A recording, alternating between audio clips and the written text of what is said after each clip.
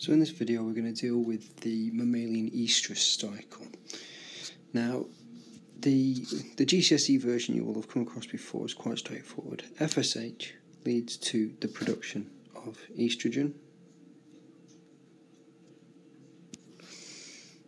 and that in turn leads to the production of LH. And we can now see that LH in itself will lead to the production of progesterone. Now, there are secondary events that surround this, but ultimately, LH leads to progesterone release.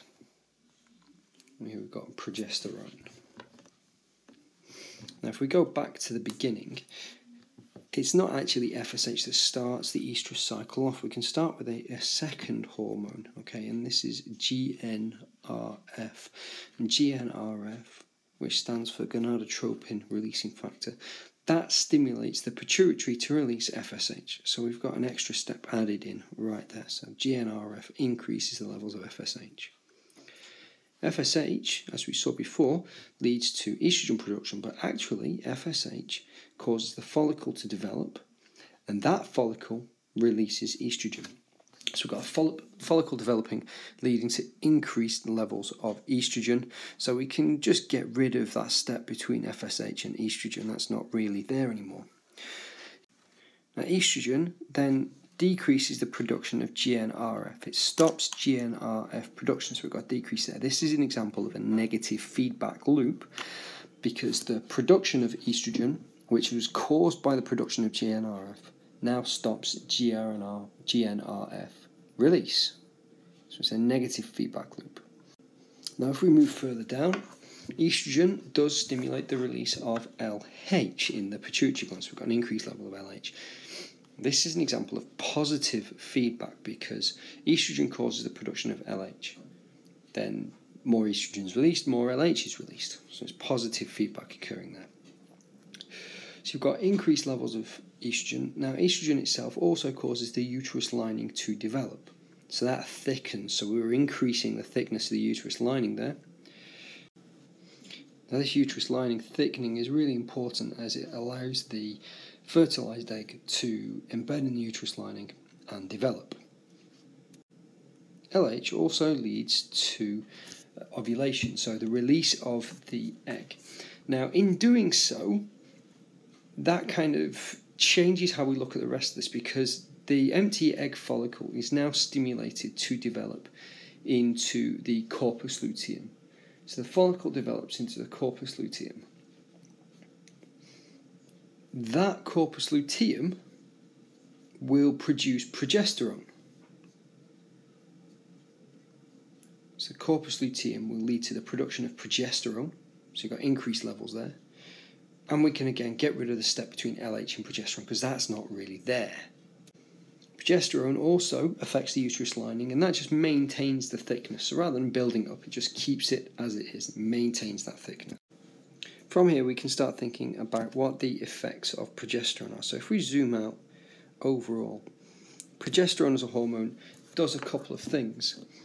Okay, its main effect, if I come all the way around here, its main effect is that it decreases levels of GNRF. Now that's really important because progesterone being produced ensures that no more eggs start developing because if the, the egg does become fertilized, the last thing you want is extra eggs becoming fertilized because down the road, nine months down the road, you'll have an eight month old fetus potentially and a nine month old fetus all in the same uterus. That's definitely not good.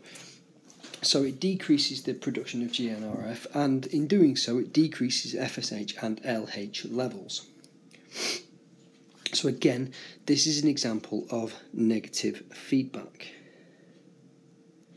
over the whole process. Now, over time, normally, the progesterone levels will fall, and that negative feedback loop is removed. GNRF will start to be produced. Also, because progesterone levels will fall, the maintenance of the uterus lining will now stop. So, in that circumstance, the maintenance stops and this negative feedback loop stops. That leads to the breakdown of the uterine lining, so we end up losing the uterine lining, so that can go, and it leads to the stimulation of GNRF. So we've got GNRF now being released, that stimulates FSH release, and the whole cycle starts again. Now, in mammals, that's known as the menstrual cycle because that's one month, mens being the, the, the, the Greek for, for month.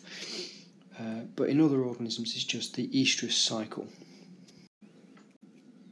Now, if we just zoom out and have a look at one of the graphs that you might expect to face on this process, you can see a few clear stages. If we try and follow the flowchart on the left and compare this to the diagram on the right, what we can see, if we start off initially, we can look at FSH. So FSH, which I've put in red here, FSH levels initially start to increase, and we can see that increase as they increase, that leads to a corresponding increase in estrogen, which I'm also doing in red here. Now, as estrogen levels rise, you can see that the FSH levels have started to decrease, which if we go back over to our diagram over here, we can see that estrogen is having a negative effect, negative feedback effect on GNRF, which is therefore not stimulating FSH production. Now, as estrogen levels rise, we can also start to see an increase in the level of luteinizing hormone or LH. So at high levels of FS, uh, of estrogen, we've got levels of LH also increasing. Now, at very high levels of estrogen, you actually see this very strange effect where it stimulates FSH production. But equally, as estrogen levels decrease, FSH is naturally going to increase and LH will increase further. At this point, right here, we have ovulation. The egg is released right as LH is peak. Now, as soon as the egg is, re- is released, you start to see that progesterone levels now rise. So we have our progesterone levels increasing here. Those progesterone levels rise immediately after ovulation and have a direct inhibitory effect on FSH and LH. So there's this negative feedback from progesterone on that, and also which we didn't have in our original diagram, progesterone has a negative effect on LH, so it decreases LH stimulation at that point. Now, in this case, there's no pregnancy, so over time, the corpus luteum breaks down, and we see that progesterone levels will start to decrease, estrogen levels will decrease as well, and we can just start to see the upturn right at the end, the upturn in FSH levels, which is occurring on day 28 as progesterone levels have reached their base. So overall, we can track the flow of hormones by using this graph, but just keep on relating them back to those main processes we need to be thinking of negative feedback, positive feedback, negative feedback again.